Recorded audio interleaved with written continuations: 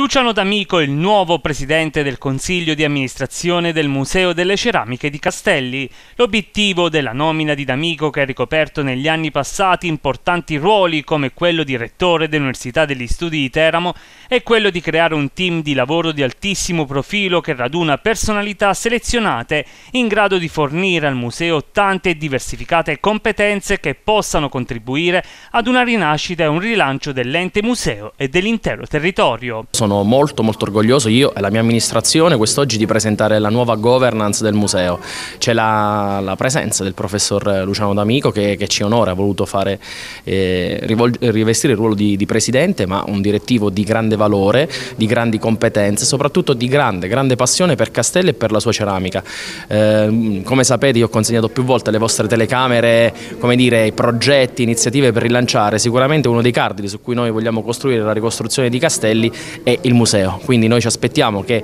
dire, la convergenza di figure tecniche ma anche di eh, politici che sappiano allocare le risorse possa permetterci di sviluppare tanti progetti importanti per il Museo delle Ceramiche e per Castelli. Il Museo delle Ceramiche di Castelli è un'istituzione di grandissimo rilievo perché conserva una delle più grandi collezioni di maioliche castellane, ma si propone di essere anche attore vivace della scena culturale grazie alle mostre, alle pubblicazioni, alle attività laboratoriali e al lavoro di promozione e ricerca dei quali è capofila. Grande prestigio per l'incarico in sé e anche per l'autorevolezza eh, dei colleghi con cui, con cui si lavorerà insieme per far sì che questa, che è una, una, delle poche eccellenze espresse dal nostro territorio, una delle poche volte in cui il nostro territorio è riuscito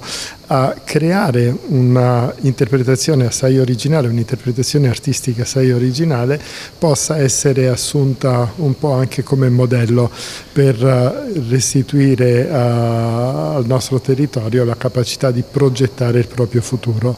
Credo che lavorare in questa direzione possa essere utile non solo per l'istituzione ma per il ruolo che questa istituzione potrà svolgere, potrà svolgere nell'intero sistema, sistema economico e culturale della nostra regione.